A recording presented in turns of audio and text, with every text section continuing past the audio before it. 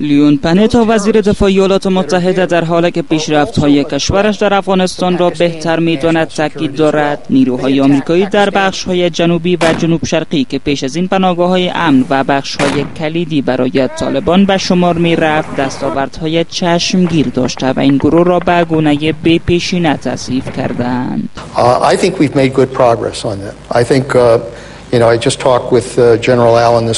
من فکر می کنم ما پیشرفت های خوبی در افغانستان داشته ایم بامداد امروز در گفتگویی که من با جان الان داشتم وی بر موفقیت ما تاکید کرد ما پیشرفت های خوبی در بخش امنیت به ویژه در جنوب و شرق افغانستان داشته ایم که پیش از این بخش های دشوار به شمار می رفت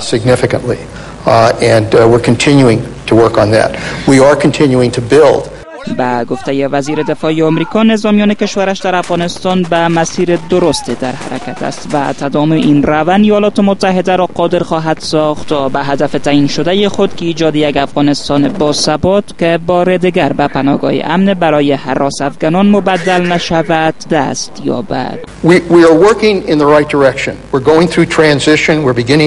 ما در مسیر درست در حرکت هستیم. سپردن مسئولیت های امنیتی در بخشهایی که باید انجام می‌شد صورت گرفت. در این مدت ما خود را مطمئن خواهیم ساخت. که حکومت افغانستان برای علاوه تامین حکومتداری بهتر توانایی تامین امنیتش را نیز دارد. اگر به همین گونه مأموریت ما ادامه یابد ما به هدف اساسی خود که همانا ایجاد یک کشور باثبات و آری از حراس باشد دست خواهیم یافت.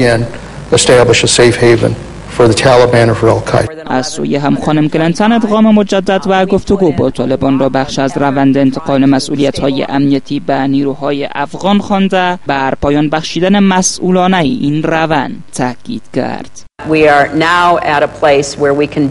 ما در حال هستیم که باید روند انتقال مسئولیت های امنیتی به نیروهای افغان آغاز می کردیم بخشی از انتقال مسئولیت ها را ادغام مجدد و پشتبانی از این روند تشکیل می دهد ما معتقد هستیم که در پهلوی فشارهای نظامی باید یک راه حل سیاسی موجود باشد و این روند باید به رهبری افغان ها توسط افغان ها باشد.